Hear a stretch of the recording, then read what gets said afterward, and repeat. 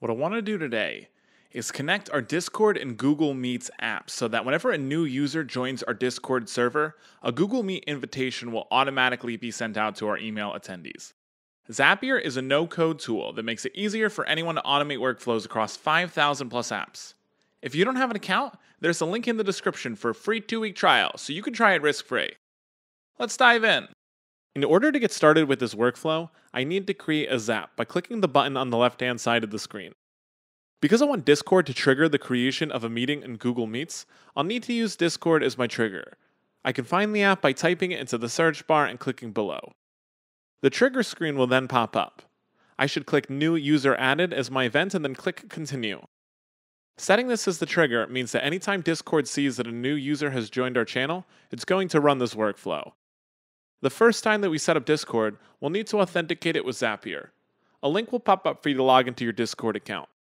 Don't worry, it's totally safe because Zapier uses industry standards for encryption when connecting with each of your apps. I'll put a link to Zapier's security and trust page in the description as well. In order to finish setting up the trigger, we'll need to pull in some example data. To do that, click Test Trigger. You're all set with the first step. Click Continue and we can start creating our action. Type in Google Meets into the search bar and select it on the drop down menu. Next, click Schedule a meeting and click Continue. From there, I can select our account and authenticate Google Meets with Zapier, just like I did with my Discord account.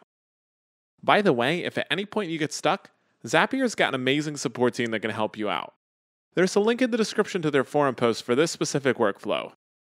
Click Continue and it's time to assign our Trigger Apps data into the Action Apps fields. First, choose the calendar you'd like your meeting to be listed under. Next, I'll type in a custom message under the Summary tab. I'll type New User Meet and Greet. After that, under the description, I'll type in another custom message. I'll type, Hey guys, and then select username on the dropdown, and then type Posted on our channel. We're setting up a meeting to introduce him to everyone. Feel free to join. Under Start Date and Time, I'll type tomorrow at 5 p.m., and under End Date and Time, I'll type tomorrow at 6 p.m. Last, I'll add my attendees' emails and click Continue. Click Test Action, and I should be all set. Yep, there it is. This is ready to turn on. Now, anytime a new user joins our Discord server, a Google Meet invitation will be sent out to our selected email attendees. I hope this was a helpful demo. Zapier can do so much more with these two apps and thousands of others. Check Zapier out. There's a free trial. Click the link in the description.